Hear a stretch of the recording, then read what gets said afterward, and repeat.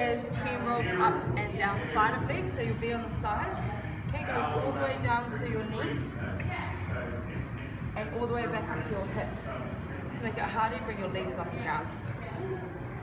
So 10 of those. in front of leg, for the front. So roll right over and get your other leg off the roller, and it's here, and you're going up, and down, 10 times each leg.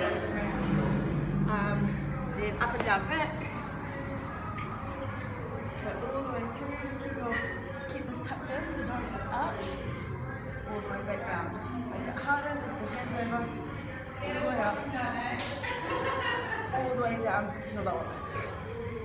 Um, and then turn on your side into your lats. So up and down, just through that lat piece. So only between all up there to there. And then 90 seconds each shot. Then a hip opener stretch. So you want to feel this through here. You can put your arms on the ground or you can just stand up and pull your pelvis under, but make sure you feel it in that leg. Chest stretch. So hands go behind the back.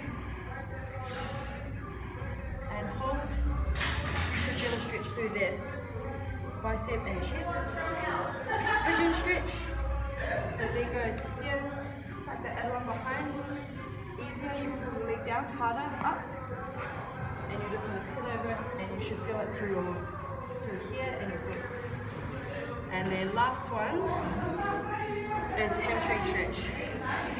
So, do this one. Both legs out, chest up, and forward. I can only get that far and I can feel it. So the main thing is your toes and your knees stay to the sky.